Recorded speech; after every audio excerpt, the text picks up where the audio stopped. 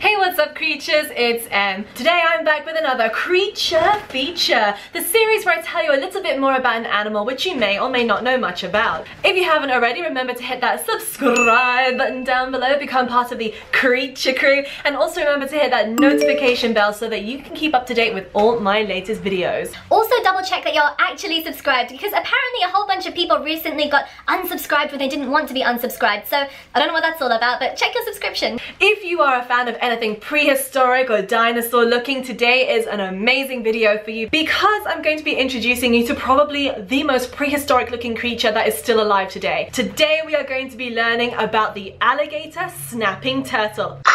But where is my alligator snapping turtle? He's over here. Today's video is sponsored by Best Fiends, which is a puzzle adventure game. In the game, you collect cute fiends which look like various types of animals and monsters, and you defeat slugs. slugs. You defeat slugs by joining together the same colors. Best Fiends is available on the App Store, over on Google Play, Amazon, and on Facebook. The game is free to download and it can be played without Wi-Fi. And because it's the month of love, Best Fiends is offering some massive prizes as well as the opportunity to unlock new characters such as Orchid Mantis. I think you'd be a fiend because you're cute. And the fiends are cute. Mind you, the slugs are cute too. That struggle when all animals are cute to you. Definitely use my link below which you can find in the description box. By using my link below you will get a free $5 bonus of diamonds and gold. The game is free to download so it's worth a try. It's fun, it's addictive. Be prepared.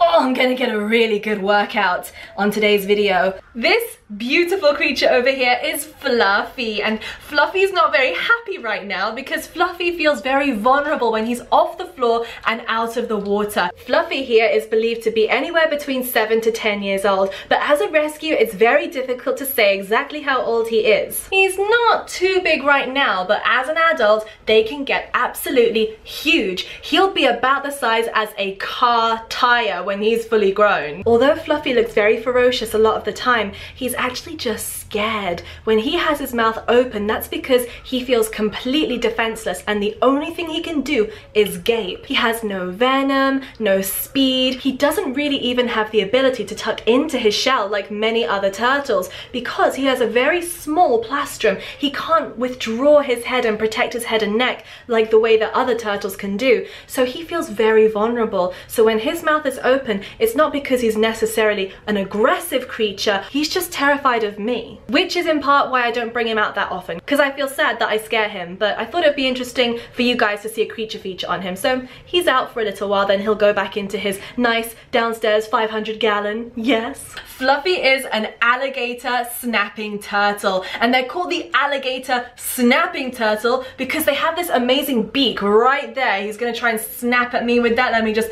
move back a little bit. Now, alligator snapping turtles are native to the southeast of North America. So you can find them in Louisiana, in Florida, and in Georgia. Although the alligator snapping turtle is native to the southeast of North America, they have been found in other places like Germany and the Bronx River. This is because people often buy them as pets. And when they're bought as pets, they're often very small and very cute, no bigger than the size of a quarter piece. But gradually, they do get bigger and their bite becomes more ferocious as they get older. So people who buy them as pets get a bit overwhelmed and then release them into the river. Don't do that. If you ever have a pet that you need to get rid of, take it to a rescue. Don't release any exotic pet into the wild. It's devastating for wildlife and it can mean a death warrant for your pet. How much do I like turtles?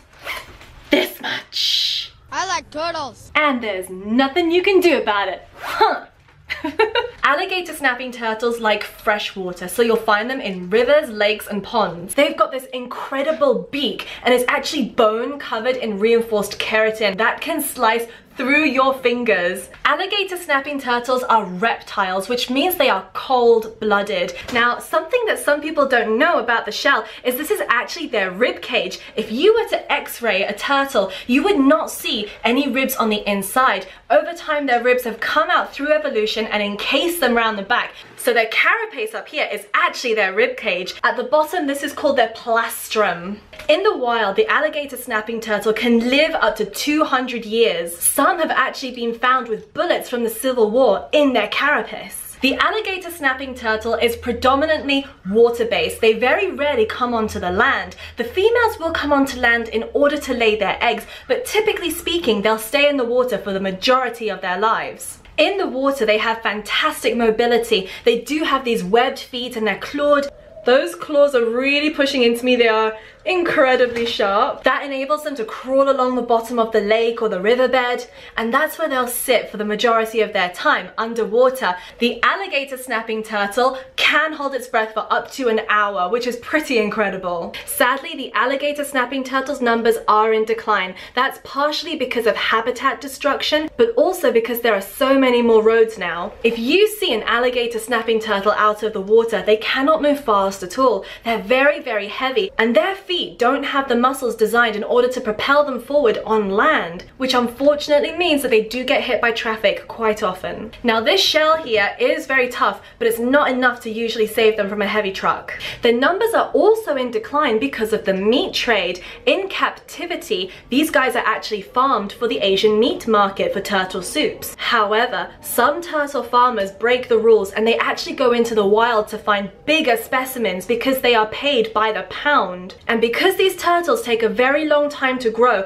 farmers want to make their money now. So they'll sometimes go out into the wild, find alligator snapping turtles, which are quite large, and sell them all the way to Asia, saying that they're actually captive bred when they're not. Amazingly, in Asia, the alligator snapping turtle is now very popular as a pet, and in Hong Kong especially, there have been amazing developments in creating new colors or morphs of these turtles. I love his face. He always looks like he's waiting for you to get his joke. Hey, why did the chicken cross the road? Because he was feeling plucky. Get it? Oi, don't be rude. Why would you do that? Now, although that beak is incredibly fierce, they're actually very shy animals. They don't really want to hurt us. In fact, if you were to step in water near to one of these alligator snappers, the likelihood of getting bitten is very, very small. The common snapping turtle, however, is a completely different story, and they will not hesitate to nip your feet and your toes. The alligator snapping turtle is a solitary creature. They only come together to breed. Now Fluffy is an ambush predator, which means that he prefers to sit and wait for food to come to him a bit like me. Alligator snapping turtles usually live in murky water and they've got amazing camouflage because they move so slowly and they are so sedentary that they actually get moss and algae growing all over them. And that camouflage helps him when catching food. He is an ambush predator. So what he would do is he would lie in wait, he'd open his mouth, he has a little wormy looking tongue and he'll open his mouth wiggle his tongue around. It looks like a juicy worm and passing fish go, oh, yummy, I'm gonna eat that worm. Swim, swim, swim, just keep swimming and snap. He bites down and he gets a tasty meal of fish. So that tongue in there actually gets used as a lure. I thought it would be interesting today if we explored Fluffy's bite force. So I'm armed with a big cucumber. This cucumber, which was going to go in my delicious salad earlier, has been saved so that Fluffy can bite into it for your viewing pleasure.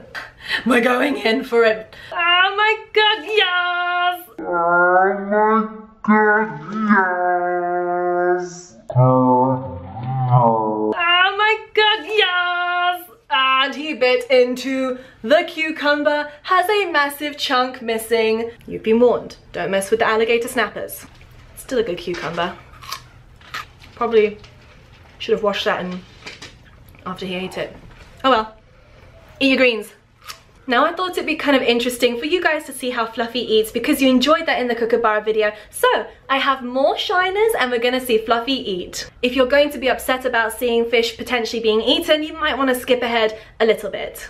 This here is Fluffy's feeding tank. This is not where he lives. He has a nice 500 gallon downstairs. Um, this is where we feed him so that his regular water, which he lives in, doesn't get foul. So there's Fluffy in his feeding enclosure. These are his shiners. These are what we're going to be feeding him now. Aside from fish, Fluffy will also get fed frozen mice. We thaw them out and we give him those a couple of times a week as well. So he does eat uh, dead food as well, but we like to give him live every now and then because it makes things a bit more interesting for him. And as mentioned in the Kookaburra video, they do have a great supply of B12. If you are going to be upset by seeing a turtle eat fish, then I suggest that you skip ahead a little bit.